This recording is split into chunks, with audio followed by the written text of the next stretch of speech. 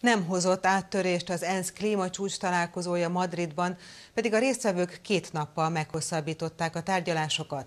Csak arról egyeztek meg, hogy jövőre bejelentik, milyen további lépéseket tesznek a károsanyag kibocsátás csökkentésére. A tudósok szerint sürgős intézkedésekre lenne szükség, miután egyre nő a globális átlaghőmérséklet. Lótrágyát borítottak az úttestre a környezetvédők az ENSZ klímakonferenciájának a helyszínénél. Így akarták felhívni a figyelmet arra, hogy többet kellene tenni a klímaváltás ellen. Az Extinction Rebellion, vagyis kihalás lázadás nevű csoport 12 tagja pedig olvadó jégtömbön állva tett kötelet a nyakára.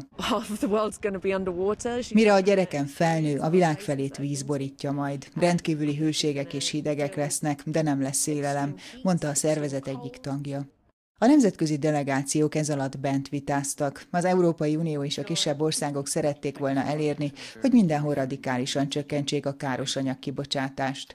Az Egyesült Államok, Brazília, India és Kína, vagyis a legnagyobb kibocsátók ellenezték a kezdeményezéseket, így végül nem értek el áttörést.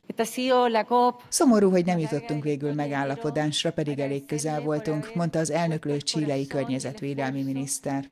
Megegyezés csak arról született, hogy a jövő évi Glasgow-i klímacsúcs előtt bejelentik az országok, hogy milyen további kibocsátás csökkentésre vállalnak kötelezettséget. A tudósok szerint azok az intézkedések, amelyekről a 2015-ös Párizsi csúcson döntöttek, nem elégségesek ahhoz, hogy a Föld átlaghőmérséklete legfeljebb másfél-két fokkal növekedjen 2050-ig, így sürgős lépésekre lenne szükség.